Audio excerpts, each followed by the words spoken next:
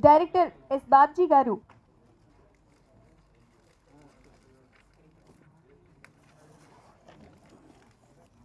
అందాల హీరోయిన్ ప్రియాంక గారిని stage sir మీరు చెప్పండి సార్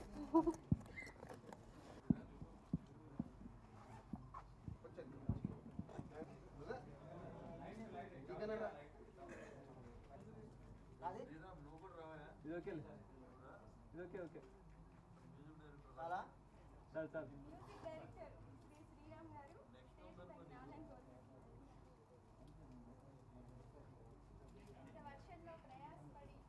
ఆన్ చేయి. కొద్ది కొద్దిగా ఓకే? ఇలా చాలు. మీ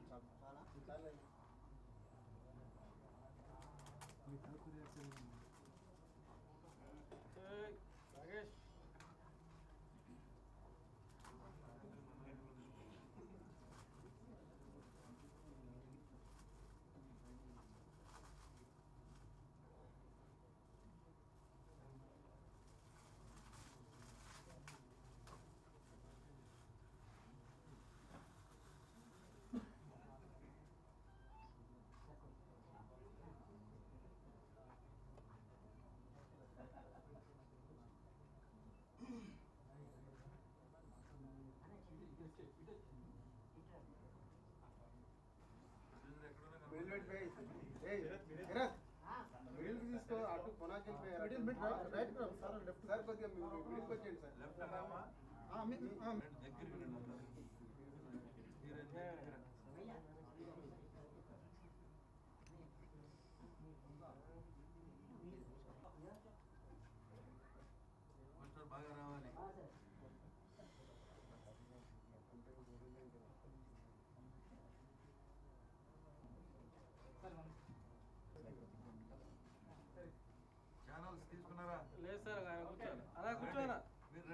మీరు కూర్చోండి.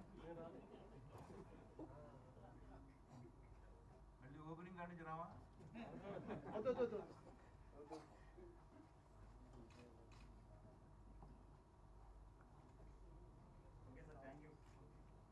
గుడ్ ఈవినింగ్ ఎవరు తానెవరో పాయింట్ అయితే వినడానికైతే టైటిల్ అయితే ఏదో క్రైమ్ థ్రిల్లర్ లాగా నాకు అనిపించింది.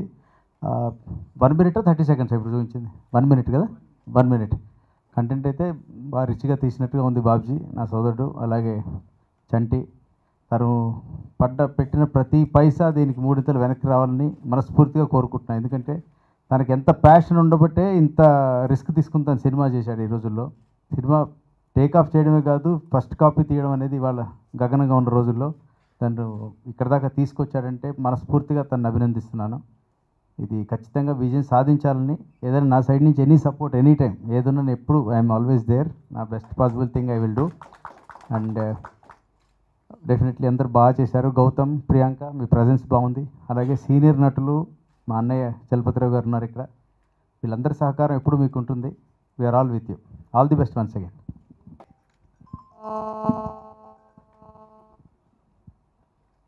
ఆహుతులైన మీ అందరికీ నా కళాభివందనాలు.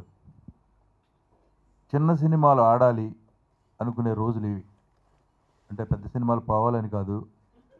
అంటే చిన్న సినిమాలు ఆడి చిన్న ప్రొడ్యూసర్లంతా పెద్ద ప్రొడ్యూసర్లుగా మారాలి.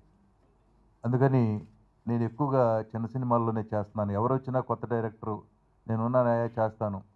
మీరు డబ్బులు ఇచ్చినా ఇవ్వకపోయినా ఇంత ఇస్తానన్నా కూడా చిన్న సినిమాలను ఎంకరేజ్ చేయాలని కొత్త డైరెక్టర్లను ఎంకరేజ్ చేయాలని మేము కృతనిశ్చయంతో ఉన్నాం కొంతమంది.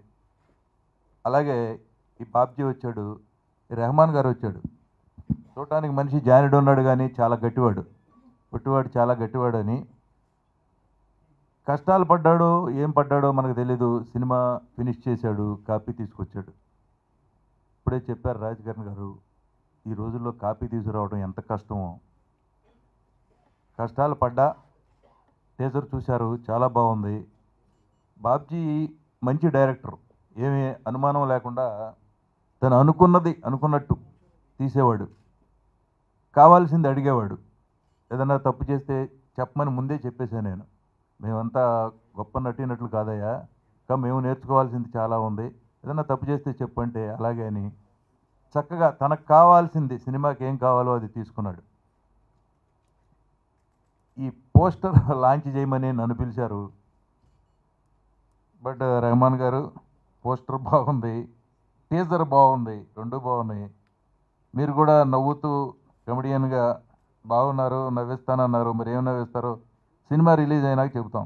అలాగే ఇందులో సాంగ్స్ కానీ ఏమి వినలేదు ఇంకా మేము. సినిమా గురించి పూర్తిగా తెలీదు. తెలిసిన తర్వాత దీని గురించి మాట్లాడతాం.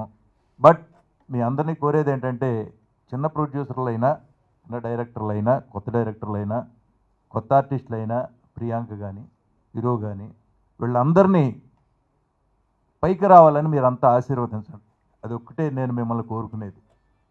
అలాగే ఈ ప్రొడ్యూసర్కి తను పెట్టిన డబ్బులు వచ్చి ఇంకొంచెం ఏదైనా లాభం వస్తే నవ్వుతాడో మరి మన నవ్విస్తాడో చూద్దాం.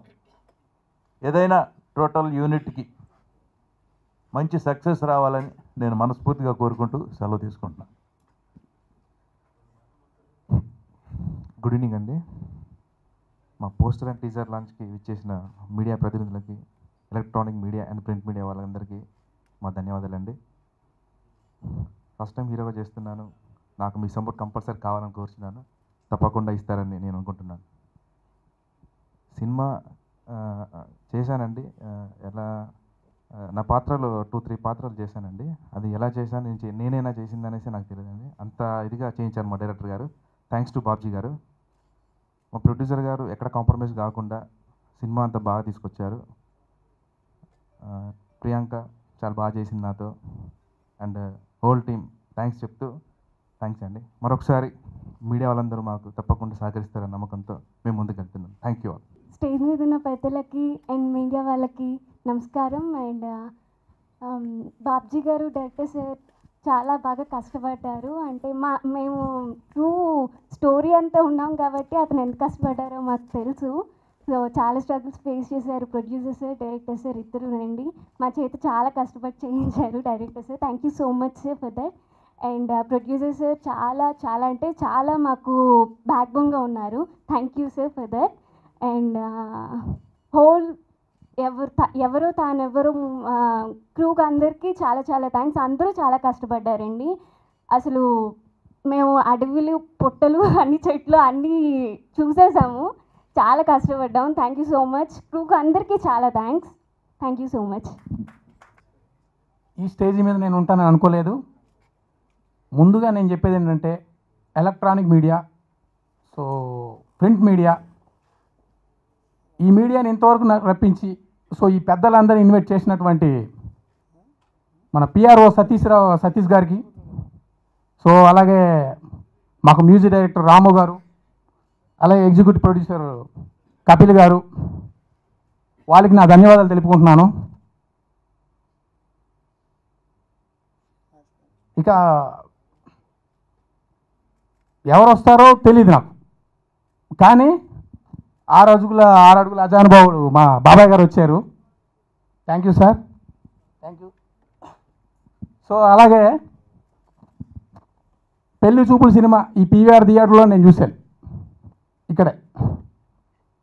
సో ఆ సినిమాకి ప్రొడ్యూస్ చేసినటువంటి రాజ్ కందుకూరు గారు వస్తారని కూడా అనుకోలేదు. చాలా థ్యాంక్ యూ సార్ చాలా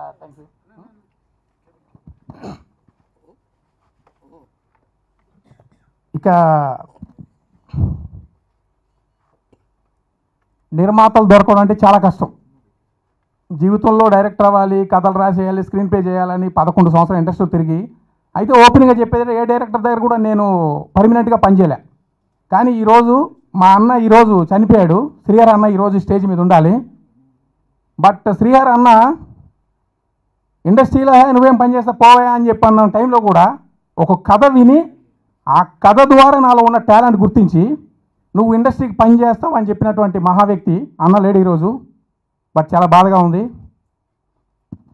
అయితే అన్న ఎప్పుడైతే చనిపోయాడో నేను వైజాగ్ వెళ్ళిపోయాను.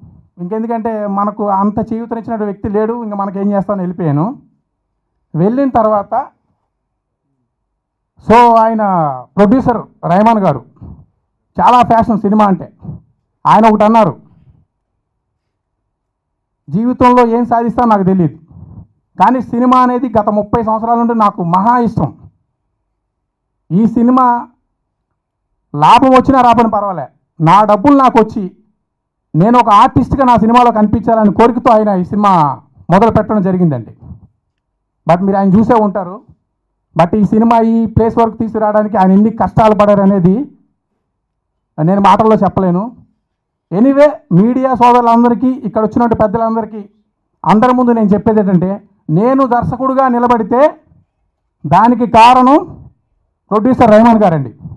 ఒకవేళ రెండో సినిమా నేను ఇదే స్టేజ్ మీదకి వచ్చి మాట్లాడి ఒకవేళ అవకాశం కలిగి ఒకవేళ ఉంటే డెఫినెట్గా జీవితాంతం నేను ఆయనకు రుణపడి ఉంటాను సార్. నేను హండ్రెడ్ పర్సెంట్ చెప్తున్నా. సో అలాంటి గట్స్ ఉన్న వ్యక్తి అయినా ప్రొడ్యూసర్ అంటే ఆరు అడుగులు పొడవుండి గ్లామర్గా ఉండి ఏదో ఏదో ఉంటే ప్రొడ్యూసర్ కాదండి. మనసులో ఏదైనా చెయ్యాలనుకునే ఒక తప్పనటువంటి వ్యక్తే ఆయన మా రెహమాన్ గారండి. సో ఆయన ఏ రోజు ఇది నాకు పలానా లొకేషన్ కావాలి? ఇంకో విషయం చెప్పాలంటే నేను సార్ మనం ప్యాడింగ్ తట్టుకోలేము చిన్న సినిమా కదా అని చెప్పి అనుకుంటే ప్యాడింగ్ లేకుండా సినిమా ఎవడు చేస్తాడు? ఒక పది మందిని తీసుకొచ్చి పెడదామని ఆయనేనండి. చలపతి బాబాయ్ గారి ఇంటికి వెళ్ళి ఆయన అడ్వాన్స్ ఇచ్చి ఆ బాబాయ్ని బుక్ చేసిన తర్వాత బాబాయ్ని బుక్ చేశానని చెప్పారు సార్. సో అలాగే సమీర్ గారు ఆయన ఈరోజు మన వర్షంలో ఆయన చిక్కుడిపోయి లేదా ఆయన వచ్చేవారు. బట్ సమీర్ గారికి అడ్వాన్స్ ఇచ్చిన తర్వాత సమీర్ గారికి ఇచ్చేసానంటే నాకు గుండెల్లో దాడ. ఏదో కొత్త మొఖాలతో అయితే ఏదో డైరెక్షన్ చేసుకుని వెళ్ళిపోవచ్చు. కానీ ఒక సార్ వచ్చేసి ఇండస్ట్రీకి వచ్చినప్పుడు నేను పుట్టలేదు. అటువంటి మహా వ్యక్తికి నేను డైరెక్షన్ చేయాలంటే చాలా కష్టం. ఫస్ట్ ఫస్ట్ సరే సార్ అన్నారు నువ్వేం భయపడకయ్యా? నీకు నువ్వు ఏ చేయాలంటే చెయ్యు. నీకేమైనా రాకపోతే నన్ను అడుగు నేను చెప్తా అని చెప్పేసి చాలా ధైర్యం చెప్పారు. అలాగే సమీర్ గారు కూడా అలా చెప్పే చేయించుకున్నాము. బట్ అలాగే చమ్మక్ చంద్ర పని బిహెచ్ఎల్ ప్రసాద్ గారు సూర్య సూర్యతేజ గారు ఇలా మొత్తం మీద ప్రొడ్యూసర్ సార్ సంటి గారు రావు సార్. ఇక హీరో విషయానికి వస్తే నవీన్ గౌతమ్ అండి. అంటే కొత్తోడు కదా అని చెప్పేసి ఆయన కొత్త నేను కొత్త. బాబు కింద కూర్చొని అడవిలో ఉన్నాం కదా కింద కూర్చొని అన్నం తినేద్దాం అంటే కిందనే. సో ఏదైనా ఒక ఒక డైలాగు రెండు టేక్స్ మాత్రం తీసుకునేవాడు. సో అద్భుతంగా మంచి పెర్ఫార్మెన్స్ చేసి నేను ఏదైతే అనుకున్నానో అది ఇవ్వగలిగినటువంటి వ్యక్తి నవీను.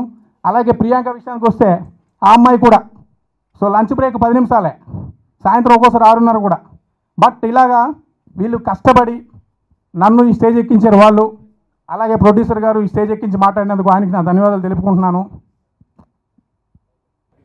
మీడియా మిత్రులారా మీ అందరికీ నా వందనాలు.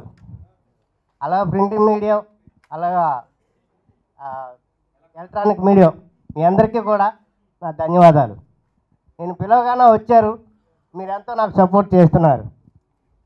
నేను చదవలేదు నిశాని కానీ నాకు కోరిక అనమాట ఒక సినిమాలో చేయాలన్న కోరికతో తపనతో నేను ఈ విధంగా వచ్చాను. ఈ స్టేజ్కి వస్తానని కూడా నాకు తెలియదు. అది నేను ఫస్ట్ సార్ని కలిశాను. అయ్యా ఇలాగా సినిమా చేద్దామని అనుకుంటున్నాను. తమరు మా సినిమాలో చేయాలి అన్నాను. పర్వాలేదయ్యా నీ సినిమాలో నేను చేస్తాను అన్నారు.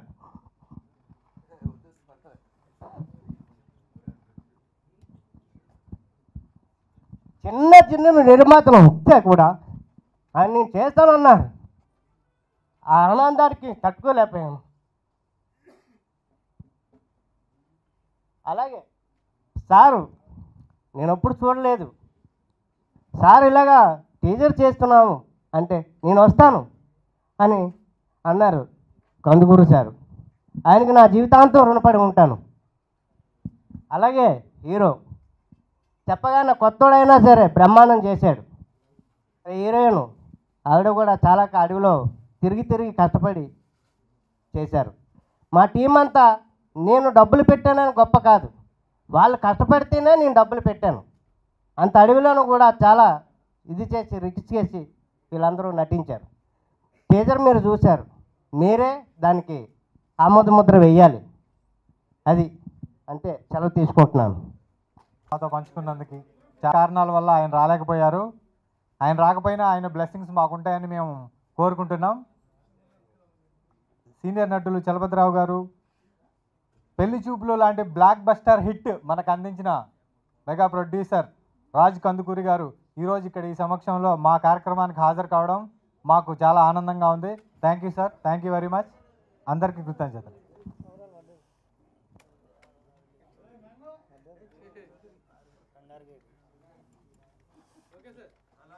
అలాగే మా జ్యూరీ చైర్మన్ కేతన్ గారు